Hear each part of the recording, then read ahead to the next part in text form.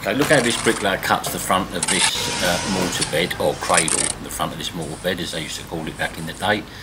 It's perfectly 12 millimeters in depth, it's just a little push on the brick, and you see it's absolutely vertical with the base brickwork. And the back he bevels at 45 degrees, perfect.